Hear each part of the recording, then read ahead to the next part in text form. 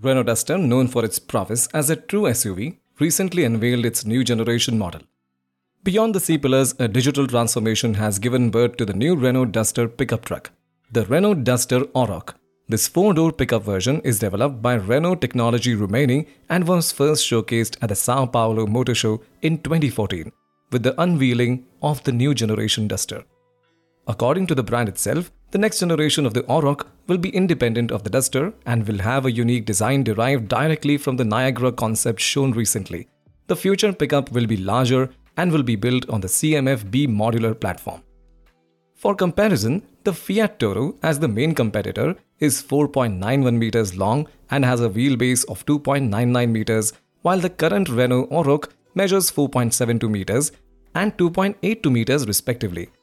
The front fascia is dominated by a prominent black plaque with Renault lettering similar to the design elements seen in the Turkey spec Renault Duster. The side profile remains identical to the Duster SUV with a C-pillar mounted rear door handle, while everything behind the C-pillar is entirely new, featuring a practical truck bed. Rear design is all new and rugged looking. This render has the same tail lights as a regular Duster, connected by a black plaque. The 2024 Duster Oroch pickup truck interior has been completely carried from the Duster SUV with a new dashboard layout and center console.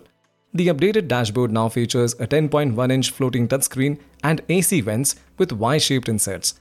Furthermore, the pickup truck B has a 7-inch fully digital instrument cluster behind a redesigned 3-spoke steering wheel.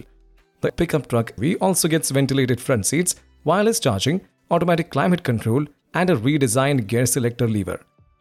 The 2024 Duster SUV is offered with a 1.0 litre 3 cylinder and several versions of the 1.2 turbo as well as the hybrid 140 which uses Renault's 1.6 litre and electric motor combo.